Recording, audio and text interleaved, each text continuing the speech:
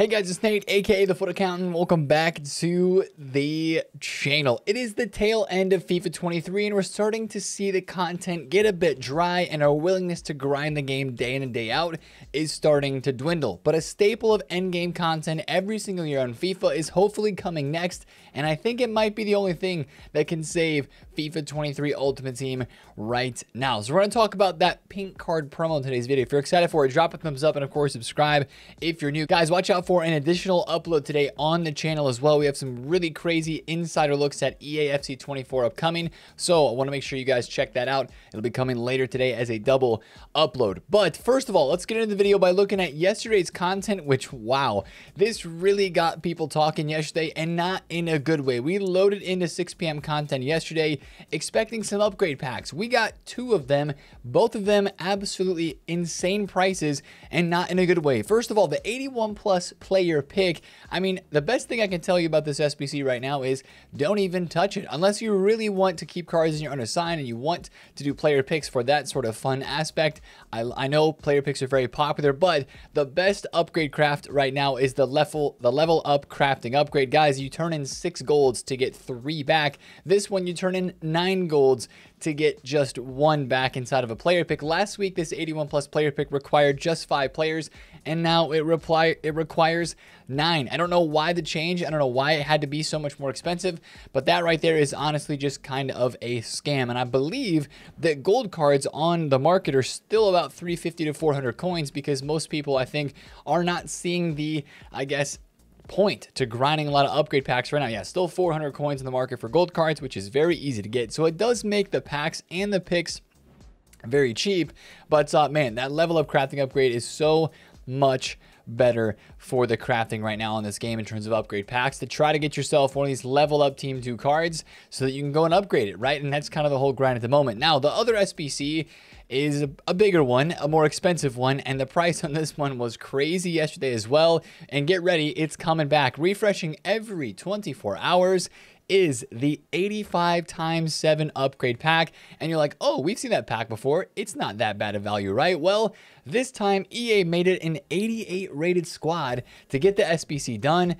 89% downvoted SBC. That is a very heavy downvote percentage, and I don't know why it's this expensive, other than the fact that right now, I guess EA is assuming that we might have fodder in our clubs, especially higher rated fodder, if we've done like a Kyle Enrique, Kalulu, Thiago Djaló, or a tall or one of these Berardi or Malen type of cheaper level up players. They're maybe thinking that we have a lot of those in our clubs right now, that we're able to just submit that in a team of the season card into this SBC and fill in the rest of the squad with lower rated fodder, which again, they are giving out a lot of lower rated fodder. You've got the daily um, you know daily login objective giving us good packs especially as we get towards the end. Today is the last day right? 11 and 12 gave us some really good packs the whole way through we've been getting 83 doubles. The cup is out draft is out. So there's a lot of ways to get fodder right now.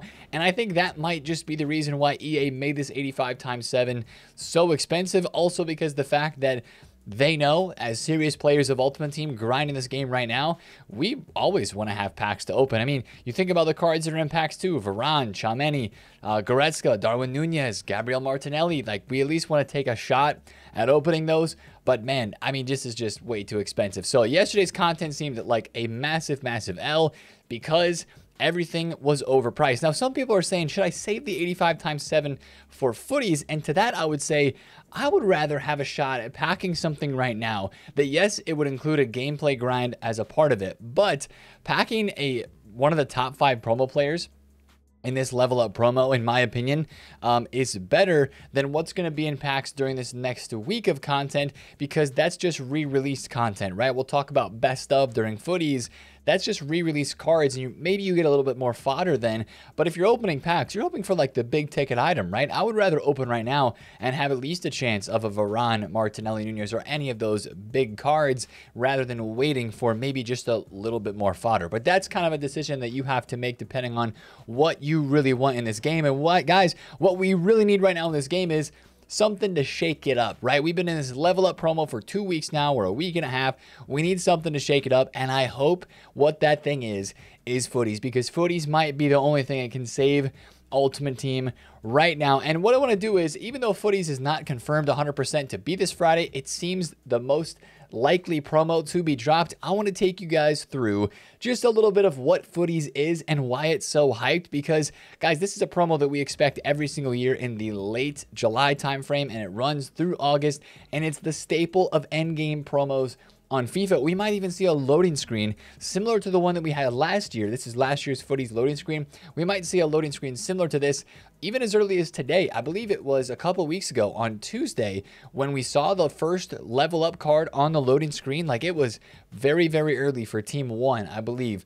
Um, that we saw a loading screen, or maybe it was Wednesday. But Tuesday, Wednesdays, always days where we could get some news about the, what is coming next as our next upcoming promo. So also, with this being possible uh, for a loading screen soon, one of the biggest part about FUTTIES is and why people get excited for it every single year is because the voting. We as a community get to choose the players that are going to be getting upgraded special cards as a part of FUTTIES. Again, this is an SBC based promo. There are no new cards in packs. At least that's how they've done it in previous years.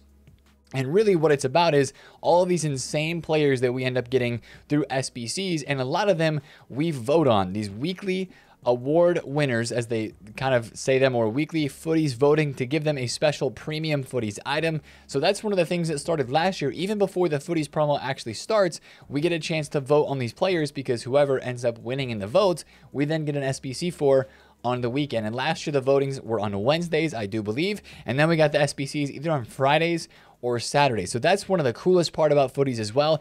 Even though these new cards aren't in packs, and some people are like, why would this promo be hyped? Uh, because the cards aren't in packs, they're in SBCs and objectives only. Well, that's kind of the reason that it's hyped is because these insane cards are released and they're actually pretty attainable. You look at this Barella FUTTIES card, a premium card, by the way. Like he already has solid links. Does he really need premium? They just gave it to him, right? That's the end game kind of vibe 200,000 coins, I think was his SBC price first day for a five star, five star, high, high Barella with all 90 stats. That card was so overpowered. I think the first FUTTIES SBC that we had was Luis Diaz, and he was a premium card, only 200K to get him done. And this was released, guys, on Friday, July 15th. That would have been like this last Friday of this last week um, last year.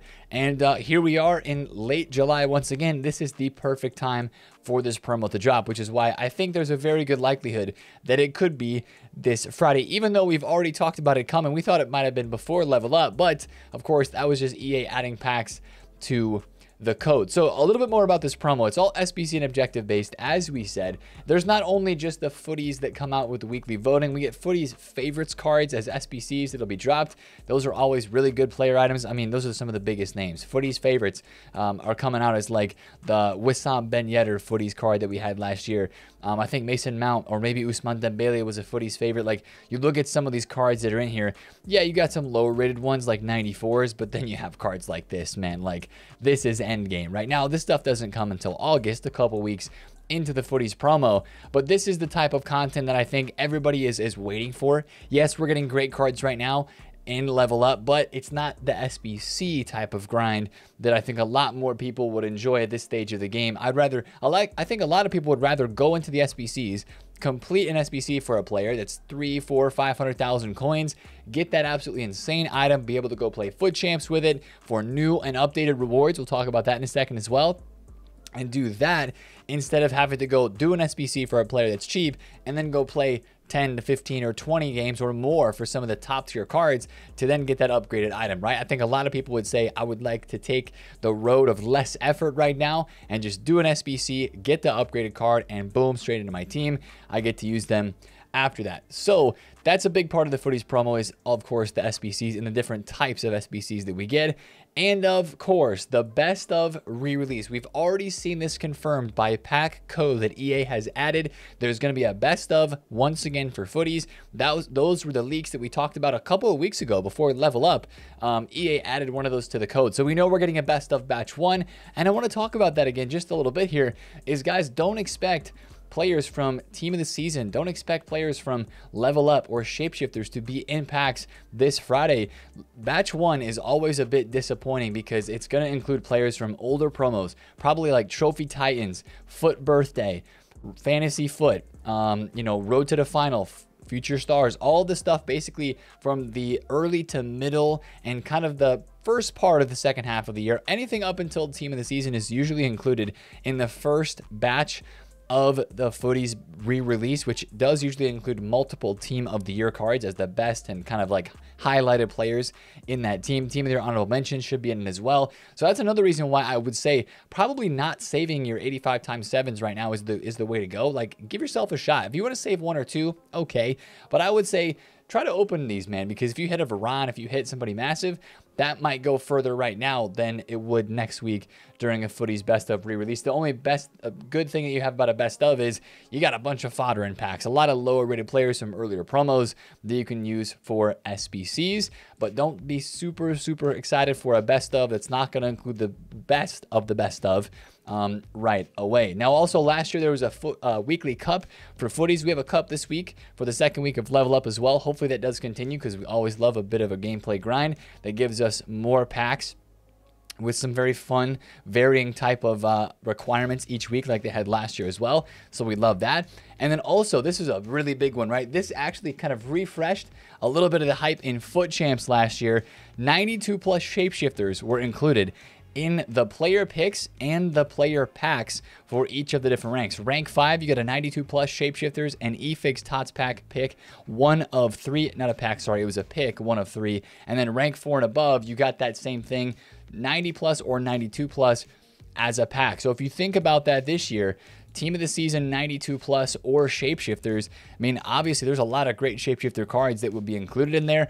I don't think icons would be included, guys. I don't believe they would. Uh, but, you know, you've got players like VVD, uh, Depay, Mares, Felix um, Pogba, Lloris, some of these guys from Shapeshifters 1, 2, and 3 that would be in the rewards pool. And that gives you a chance to get some of these Shapeshifter cards um, untradeable in that way.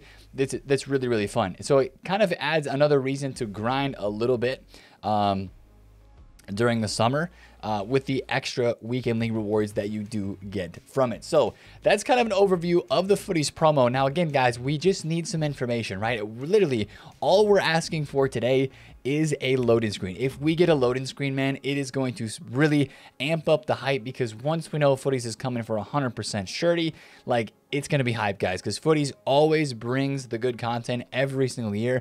And it's always a promo that some people that have quit FIFA for months beforehand come back for FUTTIES just because it's kind of like the final send off promo. And also, it happens right around the same time that we're starting to think about the new game and next year and learn all about that, which we have some more news coming out about today as well. So we're going to talk about that. So that's kind of everything related to, to FUTTIES. And I wanted to spend some time talking about that in this video just because I think that promo right now would bring some much needed life back to the end of FIFA 23 and probably give us some content that a lot of us would really at least have more enjoyment grinding than I think some of us are really uh, enjoy or more than we're enjoying this level up promo at the moment. Now, let's talk about Level Up Tuesday content today. We do have a couple interesting things today. First of all, the last day of the daily login is today, guys. I'm one behind, so it's not the last day for me, but a lot of you guys today are going to be 12 of 12 completions. It's going to be an 85 times 5 for day 12 and also an 85 times 5 for the total group reward. So basically an 85 times 10 today, if you look at it that way,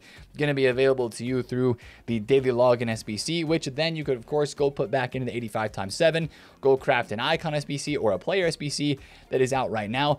There is a new player SBC leak. We have one active leak right now in this game and it is Carvalho coming as a Moments SBC soon.